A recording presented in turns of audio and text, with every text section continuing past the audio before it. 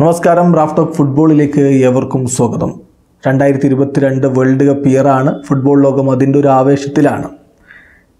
ഈ വർഷം November ഇരുപത്തിയൊന്നിനാണ് world കപ്പിന്റെ ഉദ്ഘാടന മത്സരം നടക്കുന്നത്. ഖത്തറിലേക്ക് പല ടീമുകളും ഇപ്പോൾ തന്നെ ടിക്കറ്റ് ഉറപ്പിച്ചു കഴിഞ്ഞു. ബ്രസീലും അർജന്റീനയും ഒക്കെ അടക്കമുള്ള ആരാധകരുടെ ഫേവറേറ്റുകളായിട്ടുള്ള ടീമുകൾ ഓൾറെഡി ടിക്കറ്റ് ഉറപ്പിച്ചു. പോർച്ചുഗലിന് അങ്ങോട്ട് എത്താൻ കഴിയുമോ എന്നുള്ളത് ഇനിയും കണ്ടറിയേണ്ട കാര്യമാണ്. മാർച്ച് മാസത്തിൽ അവർക്ക് യൂറോപ്യൻ മേഖലയിലെ ക്വാളിഫൈ ആ- ഒരു പ്ലേ ഓഫ് മത്സരങ്ങളുണ്ട്.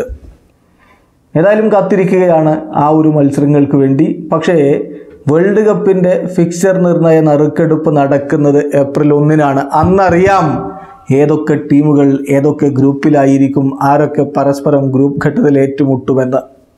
ഇപ്പോൾ പുറത്തേക്ക് വരുന്ന ഒരു റിപ്പോർട്ട് അനുസരിച്ച് ഫിഫ ഇത്തവണത്തെ വേൾഡ് കപ്പ് സ്ക്വാഡിൽ ചില മാറ്റങ്ങൾ ചില ഇളവുകൾ ടീമുകൾക്ക് വേണ്ടി അനുവദിച്ചേക്കുമെന്നാണ് സാധാരണ വേൾഡ് കപ്പ് സ്ക്വാഡുകളിൽ ഇരുപത്തിമൂന്ന് താരങ്ങളെയാണ് ഉൾപ്പെടുത്താൻ കഴിയുക.